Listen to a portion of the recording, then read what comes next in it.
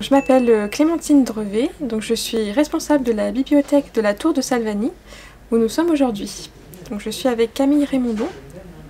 Bonjour, euh, je suis donc référente de territoire à la bibliothèque municipale de Lyon, au sein du pôle métropole.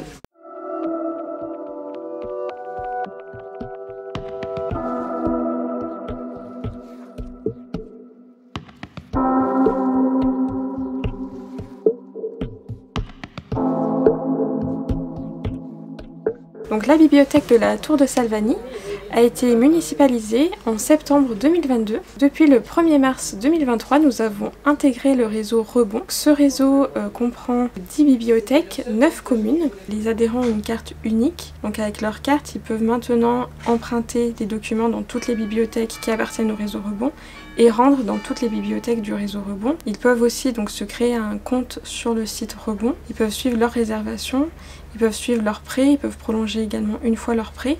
Et lorsqu'ils font une réservation, ils peuvent choisir eux-mêmes le site de retrait. Donc en fait, ils peuvent récupérer leur réservation dans le site qu'ils souhaitent. Ils ont également accès à d'autres documents, comme par exemple les CD et les DVD. Et ils ont également accès à une, offre numérique euh, fournie euh, par la métropole de Lyon, ce qui n'était pas le cas avant. En vue de l'intégration euh, au réseau Rebond, il a vite été nécessaire de repenser l'implantation des collections, de revoir les collections elles-mêmes qui étaient très vieillissantes. Et dans ce cadre-là, nous avons programmé un désherbage conséquent. 4700 documents en effet ont été désherbés en l'espace de 6 mois.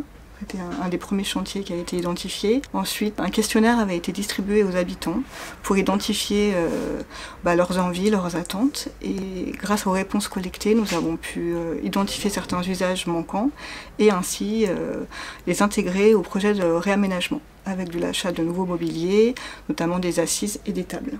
Nous avons également euh, repensé la signalétique. Donc à l'occasion du réaménagement, on a pris le temps de reparcourir tous les rayons et de, la retravailler intégralement de manière à ce qu'elle soit bien accessible et lisible. Donc au niveau des animations, donc, euh, depuis que la bibliothèque est municipale, donc on a organisé une animation euh, à l'occasion de la nuit de la lecture. Donc c'était une animation basée sur le thème de la peur, où nous avons créé un petit jeu d'énigmes pour les enfants.